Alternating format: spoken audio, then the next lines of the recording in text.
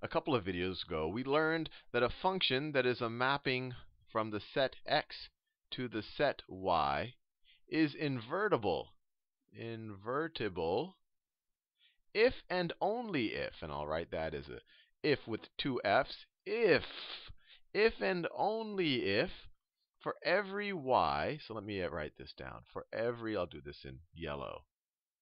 For every y that is a member of our codomain, there exists there exists a unique there exists a unique, and I'll make that a little bit bold, a unique x that is a member of our domain such that such that f of x f of this x is equal to this y. So that's just saying that if I take my domain right here, that's x, and then I take a codomain here, that is y, we say that the function f is invertible. We say that the function f is invertible, and we know what invertibility means. It means that there's this other function called the inverse that can essentially, if you apply, if you take that in composition with f, it's like taking the identity on x, or if you take f in composition with it, it's like taking the identity on y. And we've done that multiple times, so I won't repeat that there. We know what invertibility means, but we, we learn that if it's invertible if and only if for every y here, so you take any y here, any y that's a member of your codomain, there exists a unique x such that f of x is equal to that y. f of x is equal to, let me write it this way. If this is an x, let's say that's an x naught, f of x naught would be equal to y. So this y would be equal to f of x naught. You apply the function here, it's going to map it to this point here. It wouldn't be invertible if you had this. If you had two members of x mapping here. That would break invertibility if you had the situation because then you wouldn't have the, the unique condition. You have to have a unique x that maps to this thing. And what I just drew here with this other pink mapping, we don't have a unique x that maps to y. We have two x's that map to y.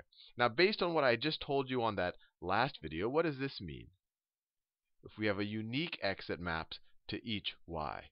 That means that we have to have a one-to-one mapping, that f has to be one-to-one. So let me write that. So another way of saying this is that f, f is 1 to 1, or injective. Injective. So if we have two guys mapping to the same y, that would break down this condition. We wouldn't be one to one, and we couldn't say that there exists a unique x, such a, a unique x solution to this equation right here. Now, the other part of this is that for every y, you could pick any y here, and you're going to there there exists a unique x that maps to that. So I don't care. There cannot be some y here. Let's say that there's some y here, and no one maps to that. No one, no one maps. If that's the case, then we don't have, then we don't have our conditions for invertibility. So that would be not invertible.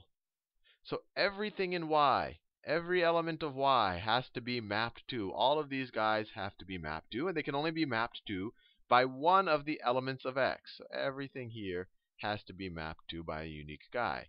Now, in the last video, what did we call it when a function maps to every element of your codomain?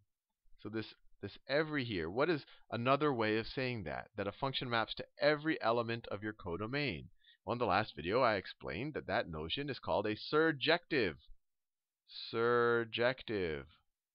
Or on to function.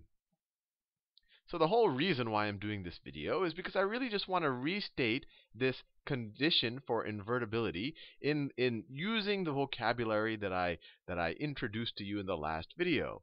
So given that we can, given that the statement for every y that's a member of our codomain, there exists a x that maps to it, we could just say that f is surjective.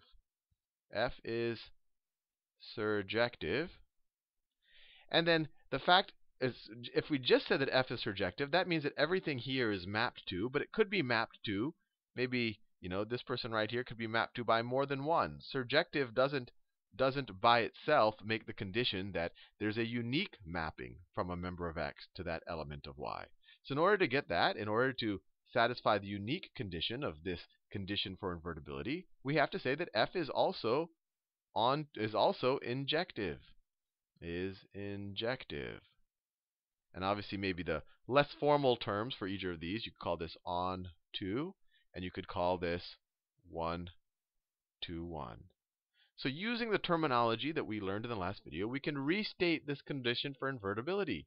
We can say we can say that a function that is a mapping from the domain x to the codomain y is invertible is invertible if and only if, I'll write it out, and only if f is both surjective, surjective, and injective.